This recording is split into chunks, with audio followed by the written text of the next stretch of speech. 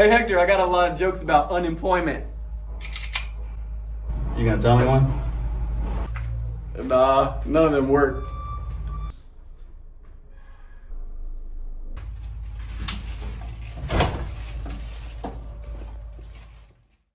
All jokes aside, guys, th these are charcuterie boards that my students are making over at Woodcraft.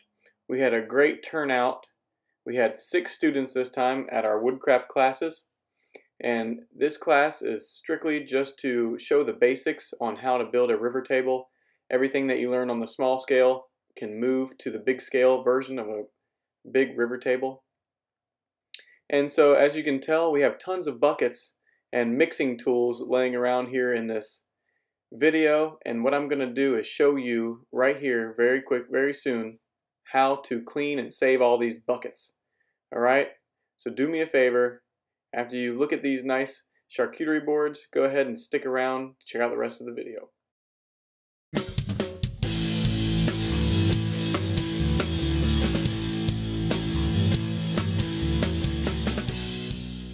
What's up everybody? Welcome back to the Goodview Woodworks channel. My name is Nathan and in this video we're to go over one of the biggest questions and comments that I get on my channel. We're to go over that right now. Here we go. Okay, so the question is, Nathan, what do I do with my tools and my buckets? How do you clean them out? How do I clean my tools off? You know, variations like that. And the short answer is, well, when it comes to the buckets, I, I let the epoxy sit with a stir stick and I break them out like this. So I just go in here and I squeeze the bucket and you can see it releasing from the sides here.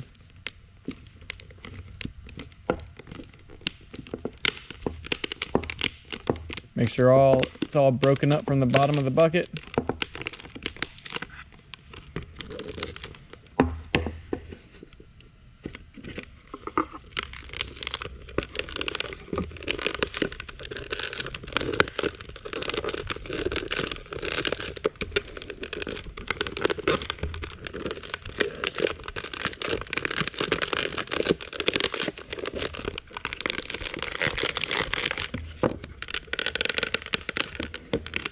Just work it around.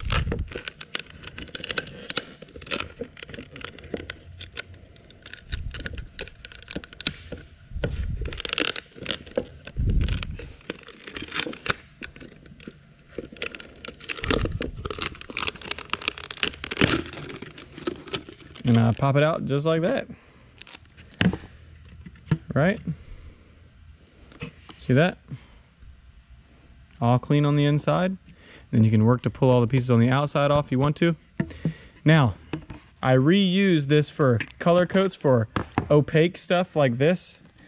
But if I'm going to do a flood coat, I always buy a new bucket. But you don't have to if you're just doing a color coat because you'll never be able to tell. But see, it pops right off. No issues, no worries. So that's what I do with the buckets. But as far as my mixers, if you can see, I don't clean them off at all. What I do is I'll put it in I'll put it in the bucket when I'm mixing and I'll pull it out and I'll put it put the drill on high speed and I'll spin it really quick to get any of the excess off. But then I let the epoxy dry. You'll get stalactites and stuff like this. But all it does is help the drill help it mix the epoxy. It doesn't really matter.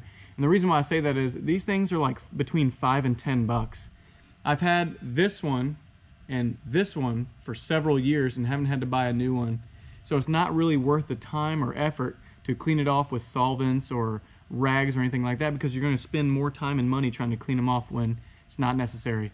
Once it gets too bound up, which like I said, I have one that I've been using for three and a half years and still use it. It has a bunch of stalactites on it. Once that one gets done, I'll throw it away and buy another $5 drill mixer. So that's really what I do. Hopefully this answers all your questions. Now when it comes to like my drills and things like that, you do want to wipe them off with mineral spirits to get any, if you accidentally spill some epoxy on those, that is what will help. other than that, my actual mixing tools and buckets, that's how I clean them off. So I hope this helps. Let me know if you learned anything. Leave a comment down in the comment section. Share this video with your friends.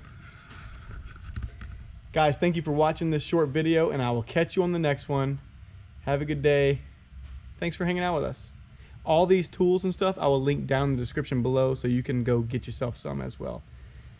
As far as uh, Amazon goes, I'm an affiliate, and all that means is that it doesn't cost you anything to buy something through my link, but it does kick me back a very small commission, and anything helps to support this channel, and I would appreciate if you guys did that. So thanks again and I'll see you on the next one. All right, guys. Thanks for hanging out with us.